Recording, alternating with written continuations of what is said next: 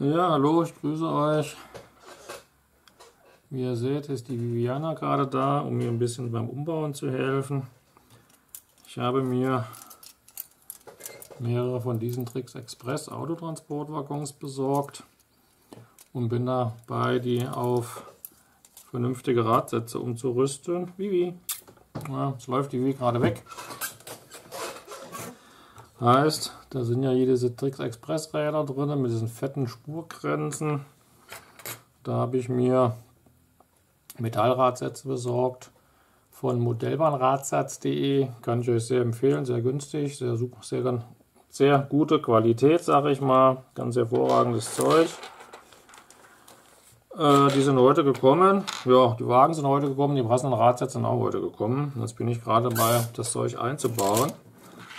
Man muss halt leider, um die Achsen tauschen zu können, bei jedem äh, oder bei jeder Achse oder Achsaufnahme muss man das hier diesen Achshalter rausschrauben. Ja, das ist halt hier so eine Blechaufnahme. Und das muss man lösen, damit man das Rad rausmachen kann. Weil im Waggon selber kriegt man es nicht auseinander, also ich zumindest nicht. Und dann kann man hier die Achsen da wieder reinfädeln und das ganze Ding wieder festschrauben. Ne? Ja, das ist eine Sisyphus-Arbeit, sage ich mal, aber das will man machen. Neue Radsätze laufen auf jeden Fall super, total leicht. Ganz hervorragendes Zeug. Aus, aufgrund dessen, dass diese Viecher hier komplett aus Metall sind, habe ich äh, beidseitig isolierte Radsätze da reingemacht. Ne, bei einseitig isolierten Rädern würde der Strom wahrscheinlich über den Rahmen fließen, auf die Kupplung gehen. Und wenn da jetzt ein Waggon, sage ich mal, andersrum aufgegleist ist, sprich das andere Rad, das isolierte ist, gibt es dann mit Sicherheit da einen Gurtschluss. Ne? Deshalb bei diesem alten Tricksmaterial komplett aus Metall äh, empfehle ich halt immer beidseitig isolierte Radsätze reinzumachen, bei Güterwagen zumindest. Ne? Da braucht man ja keine Stromabnahmen für eine Beleuchtung. Ja, der Waggon, den hatte ich mir ja schon mal letzte Woche besorgt.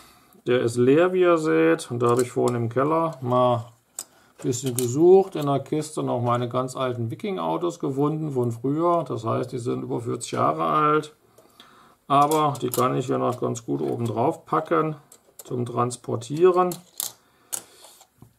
damit das Gerät nicht so alleine fährt. Denke ich mal, ist das ganz schön. Die anderen vier, die ich hier habe, die waren schon mit Autos besetzt.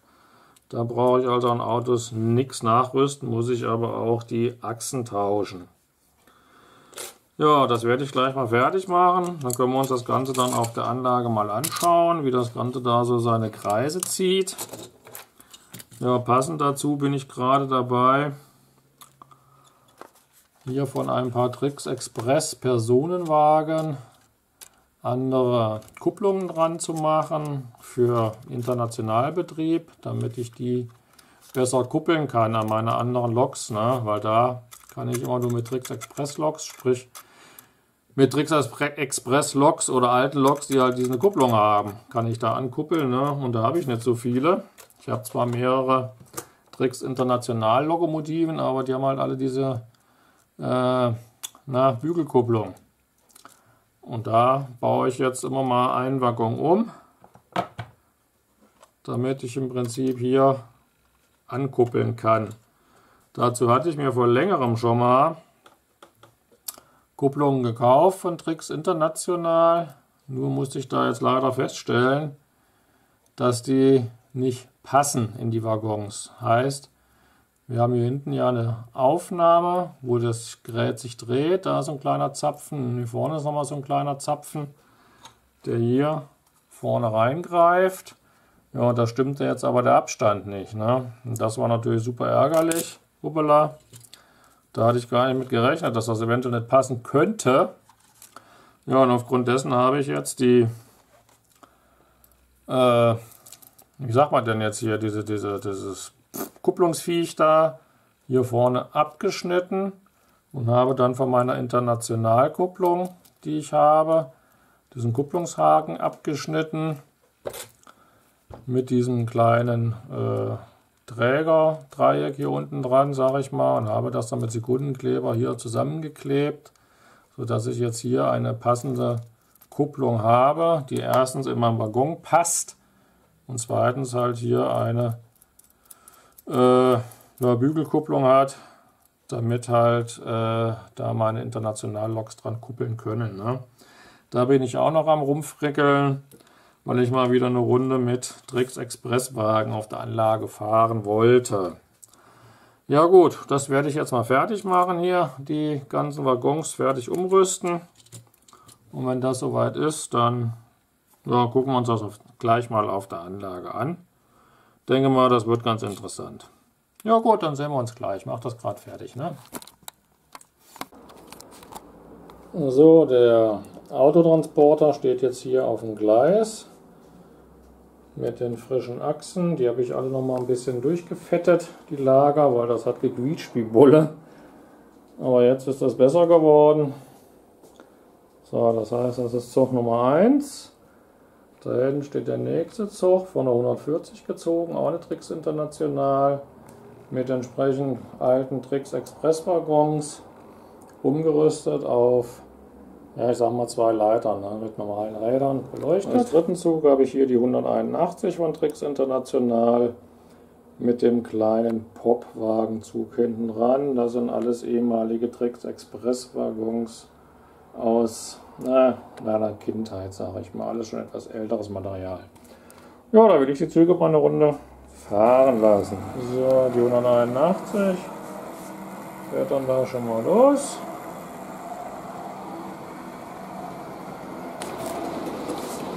So, hier setzt sich der Autoreisezug in Bewegung.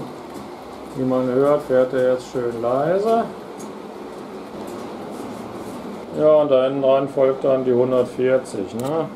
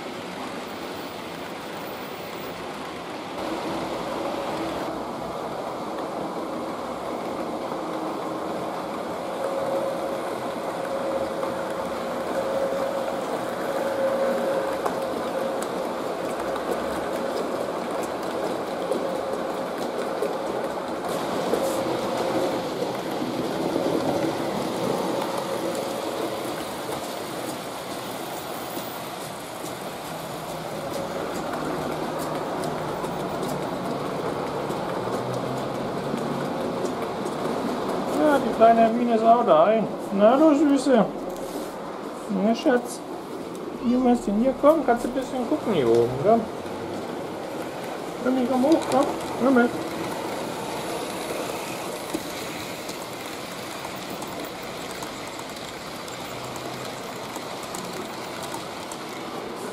Ja, Mika? Ja. Genau. Ja, Hermine will auch ein bisschen Züge gucken, ne? Da freue ich mich aber. Schön. Ein bisschen die Anlage verschönern, ne? Ja, ja, das tun wir alles an, ey. Miau, miau. Was hast du? Hm, Schatz, was ist denn los? Ja. Ist ein bisschen kuschelig, die kleine Maus heute. Na, du Süße. Hm?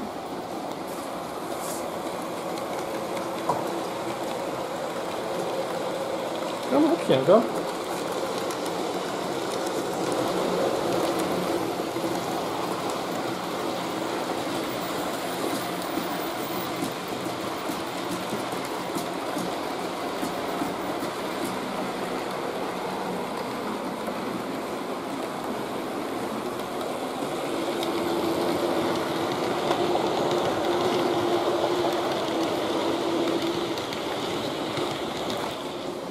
Ja, du Süße.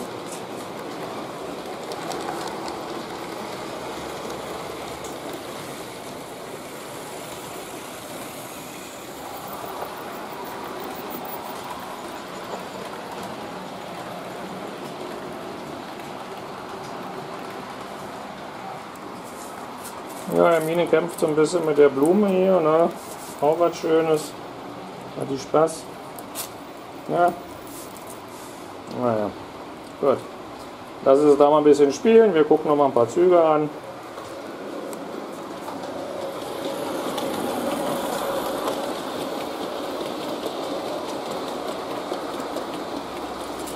Ja, den alten Zug finde ich total klasse hier. Absolut geniales Teil.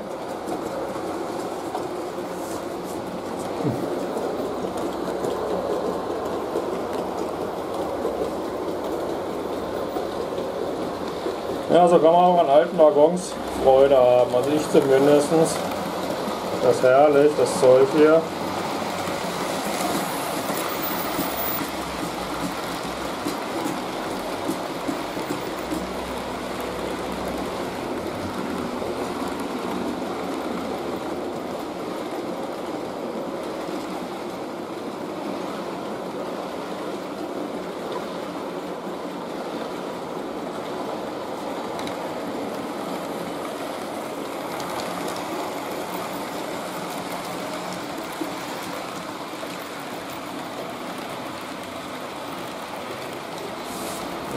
Amina arbeitet sich da durch die Blumen durch.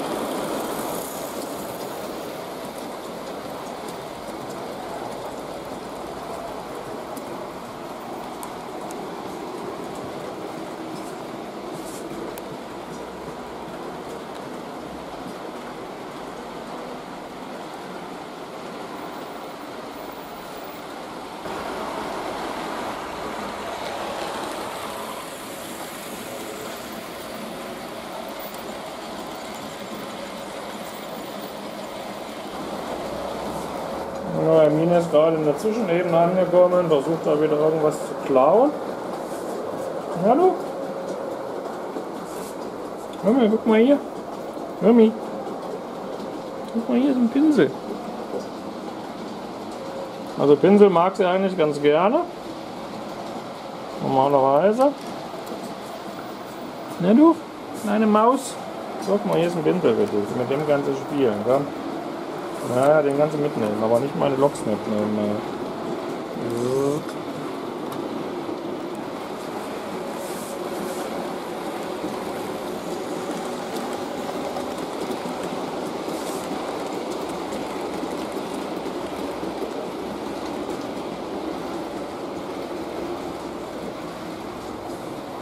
Hallo? Danke, Mutter. Mio, was ist denn? Ja, schmeiß ruhig alles um da unten. Alles gut, ey. Bist ein Klößchen, ey. Alles gut, mein Schatz. Na, wo ist der Schatz? Hm, alles gut? Ja, alles ist gut, mein Schatz. Ja, da kommt nochmal ein Zug.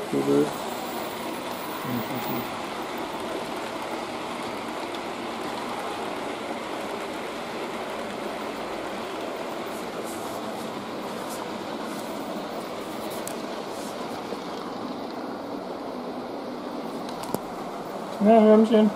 Hm? Ja, da ist, ist der Pinsel? Da ist der Pinsel, guck mal. Da ist der Pinsel. Da kannst du ruhig dran rumkauen, ne? So. Leider weg. Was hast du den Mülleimer geschmissen? Du bist eine Eule, ey. Ja, wo ist er hin? Da ist er, guck mal hier. Da ist der Pinsel. Da.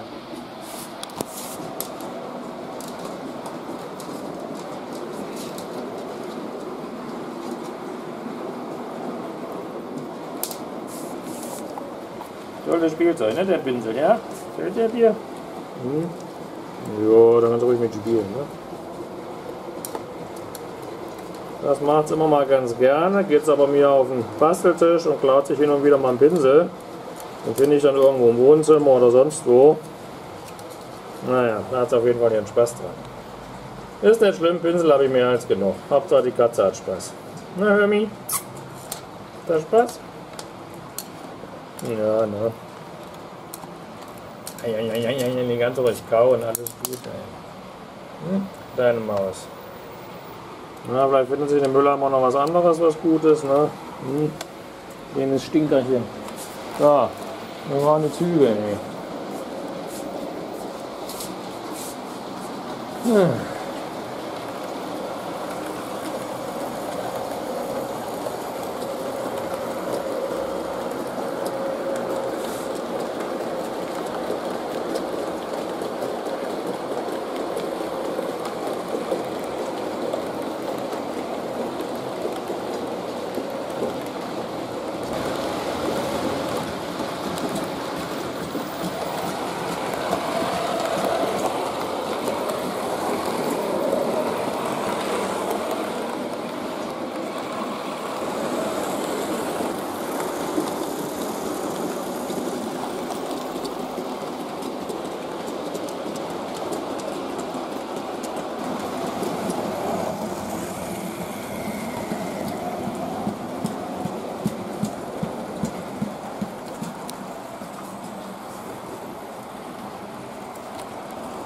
So, so langsam drehen die Züge ihre letzte Runde. Kommen hier wieder am Bahnhof an.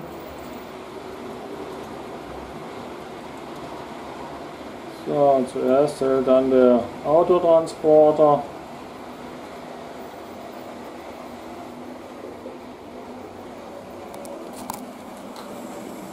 Als nächstes kommt dann die 140.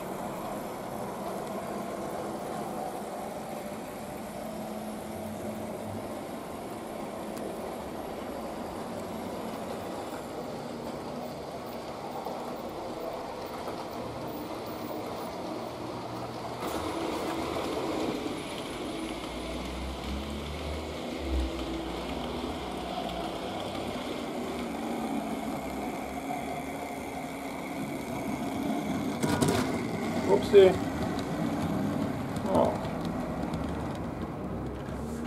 Ja. jetzt ist die 181 auch noch angekommen mit dem schönen bunten Popwagenzug. Denke mal, da werde ich mir noch ein paar zusätzliche Waggons zu besorgen, weil die gefallen mir echt gut in dieser Farbe, schön bunt. Ja, das soll es dann mit dem Video gewesen sein. War mal wieder ein kleiner Fahreinsatz meiner alten Tricks-Schätzchen. Danke euch nach wie vor fürs Zuschauen. Wünsche euch alles Gute. Bis zum nächsten Mal. Macht's gut und tschüss.